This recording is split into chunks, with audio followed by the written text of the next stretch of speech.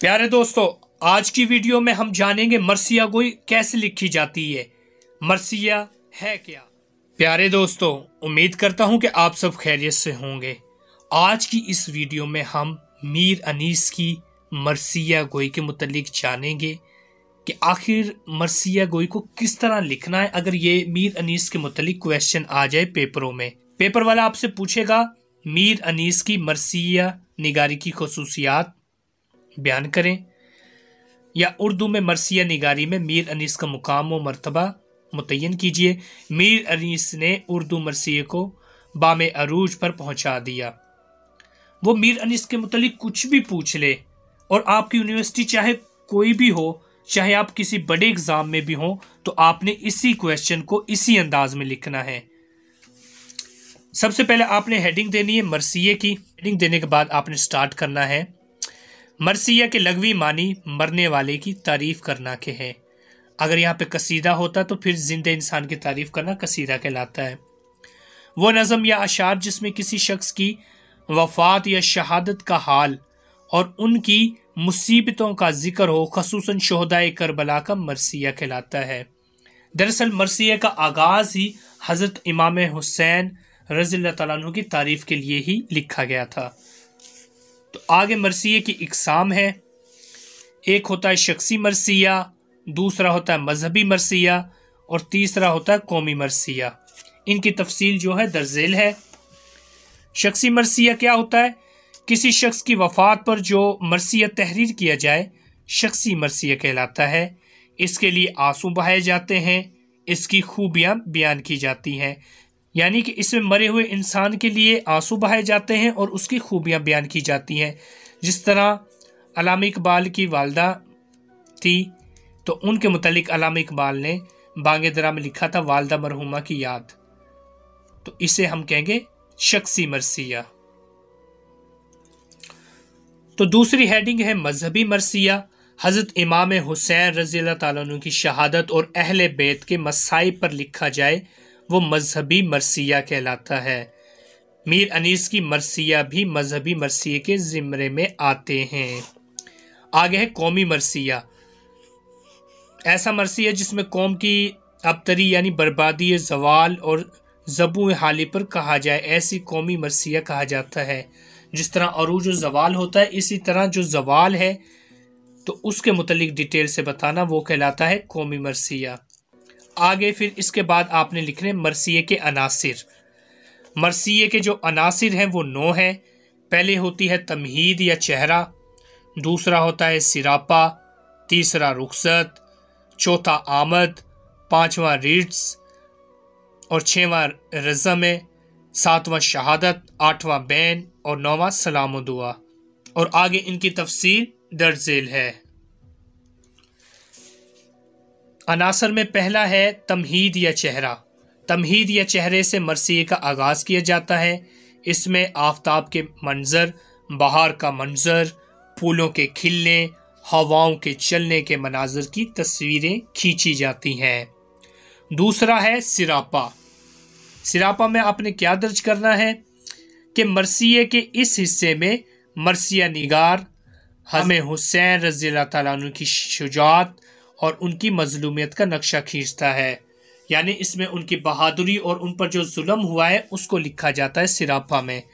रुखसत में, मरसिए के इस हिस्से में, रुखसत में मरसिए गो हज़रत इमाम हुसैन रज़ी तु या उनके रुफका में से किसी की मैदान जंग में जाने का मंजर पेश करता है।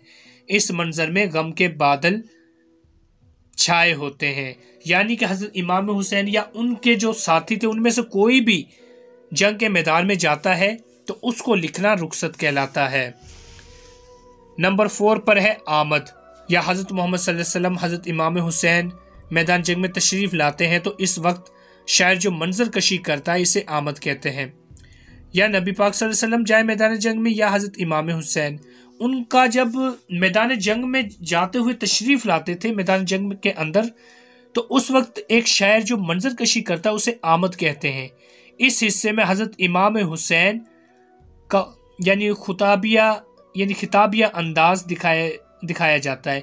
यानी कि जिस तरह बंदा किसी चीज़ को डिटेल से बयान कर रहा है और उसको बहुत ही अंदाज से, जोश वलवलो के अंदाज से भरपूर तरीके से पेश करता है, उसे कहते हैं आमद।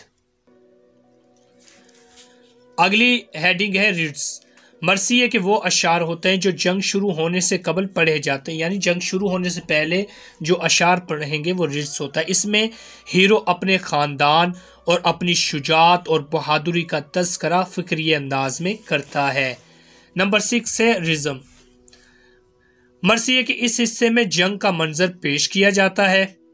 यानी जंग किस तरह होती है, सारा डिटेल बताया जाता है उसके अंदर ए टू जेड उसमें तलवारों की चमक हो तीरों की सरसराहट नेज़ों की चु, चुबन और बर्छियों की भरमार का नक्शा इस अंदाज से खींचा जाता है। आगे नंबर सेवन पर है शहादत। शहादत में क्या आपने बताना है कि मरसी के इस हिस्से में हज़रत इमाम हुसैन और उनके जान निसारों की शहादत हो जाती है। शहादत के मंज़र इस अंदाज से पेश किए जाते हैं कि पढ़ने और जो सुनने वालों के दिल गम में डूब जाते हैं। यानी इसमें शहादत हो जाती है कि कुछ इस तरह का अंदाज था हज़रत इमाम हुसैन और उनके साथियों का कि तारीख में आज तक ऐसा वाक़ नहीं हुआ और ना ही इतनी किसी को तकलीफ़ दी गई है जितनी हज़रत इमाम हुसैन को शहीद करके दी गई है।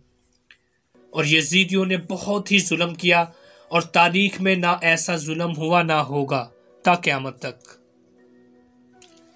इसके बाद है बैन। हज़रत इमाम हुसैन और उनके रुफका के जब शहादत हो जाती है तो उसका दुख महसूस किया जाता है। यानी कि इनकी शहादत पर आंसुओं का नजराना पेश किया जाता है और बैन किए जाते हैं। बैन में यही होता है कि रोना कि उनकी तारीफ़ें की जाती हैं और उनके लिए आँसू बहाए जाते हैं। नंबर नौ पर है सलाम दुआ। इस हिस्से में मरसिया अख्ताम पजीर हो जाता है। इस हिस्से में हज़रत इमाम हुसैन रज़ी तु और उनके जानसारों को सलाम पेश किया जाता है। इनके हौसले, उनकी शुजात और राह हक में शहीद होने को खराज तहसीन पेश किया जाता है। खुदा के हजूर अपनी मगफिरत की दुआ की जाती है। तो प्यारे दोस्तों, ये थी हमारी आज की वीडियो। जिसमें हमने हज़रत इमाम हुसैन के मुतलिक जाना कि मरसिया उनके लिए किस तरह लिखा जाता है। मरसिया होता है कि मरने वाले की तारीफ़ बयान करना।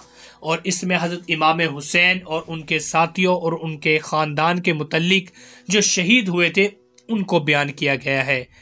उम्मीद करता हूँ कि आपको आज की ये वीडियो पसंद आई होगी। अगर आप चैनल पर नए हैं तो चैनल को सब्सक्राइब ज़रूर करें ताकि मेरी हर नई वीडियो आपको बसानी मिल सके। अपना बहुत सारा ख्याल रखना दुआ में याद रखना। अल्लाह हाफिज़।